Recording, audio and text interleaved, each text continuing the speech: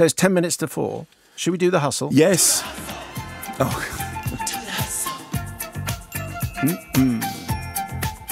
You posed the question,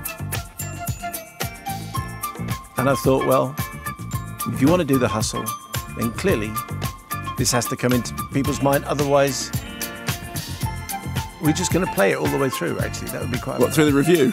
Yeah. Are you serious? No, I'm not. Okay. very serious anyway. Does, does this help you? Not really. Okay. Is it not a rela- is it not anything to do with Van McCoy? Nothing to do with Van Not to do McCoy. with 70s disco? No, not to do with Sylvester McCoy either. Oh, okay. That's all right. Shall I start? I think or are you should just going to carry on? No, I'll, no, we can lose it there. Okay, fine. Very, So- very, very entertaining, guys. Very good, very good. 1964 story, bed, uh, film Bedtime Story. You remember that? No. But what you do remember is Dirty Rotten Scoundrels, which was, you know, based on a bedtime story. And I remember going to see Dirty Rotten Scoundrels and thinking this isn't anything like as funny as it should be. You know, it's a story of two scam artists and they have to team up together. And I, it was funny for the first 10 minutes. And then after that, it kind of fell down. Well, now we have The Hustle, which is a gender reversed take on the story of uh, Dirty Rotten Scoundrels. Before you had uh, Michael Caine, Steve Martin. Now we have Rebel Wilson, who is this kind of low level scam artist who is on a train in which she's scamming people for the um, for the cost of her of her lunch of her, of her, of her dinner. And she meets Anne Hathaway, who is far more kind of upmarket and a much more successful uh, con artist. Their paths cross. One thing leads to another. Hathaway reluctantly agrees to mentor uh, Wilson's character, and they decide that they will join forces against one of their wills to fleece men, but also to compete for their money and indeed affection. What do you want, Penny? I want this! Like, look at this place! I had no idea how small time I was until I met you. Teach me your sugar baby ways. Shape me into something great and richer. And why would I do that? Because who knows? I could be the partner you never knew you needed. No thanks. I work alone. Okay, I get it. But what you're not getting is that a girl like me could make it real uncomfortable for you in this town. Just take one phone call.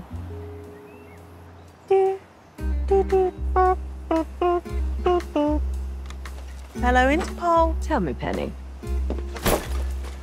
Why are women better suited to the con than men? Because we're used to faking it. It comes down to one universal truth. No man will ever believe a woman is smarter than he is. We will always be underestimated, and that is what we use. So this means you're going to teach me, aren't you? I'm teaching you now. Yes. Wait, what was that last part? I, I couldn't hear you were talking into the ocean. Do the hustle. If you were you literally lining that gag up just for that? Okay, so first five or six minutes of the film is quite funny, and then it completely flatlines.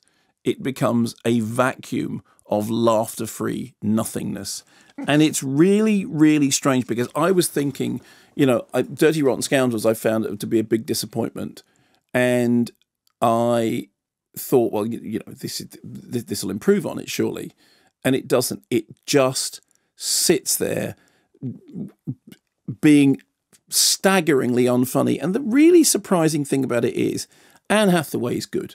Anne Hathaway can do accents, and yet Anne Hathaway, you heard Anne Hathaway's accent in that it's uh, it's like you know chalk on a blackboard, nails on a blackboard. Even chalk on a blackboard would be fine stepping on eggs. Incidentally, in the new Jack Reacher novel, he says walking on eggs. Just so you know, everyone's tweeted it to me. Is that right? Walking on eggs.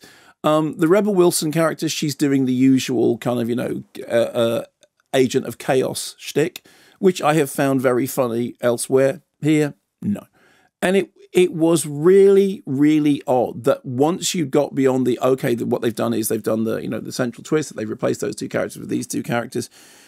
You just sit there thinking, when's it gonna when's it gonna start getting funny again and it, it, it is astonishing with i know criticism is a very subjective thing but there is nothing quite like sitting in a room watching a comedy film in which nobody is laughing and the film is actually including little areas for the laughter to happen in and I mean, it's interesting. For example, if you compare this to um, Amazing Grace, which we talked about earlier on, in which everything is to do with you know with ecstasy and and response and these songs have the transcendent one and you're there watching the audience just you know ascending to another level and then in the same day you see the hustle in which you just watch this slab of cold unfunny comedy just lie there and i mean it's very very odd because there are two very funny and very talented performers at the center of it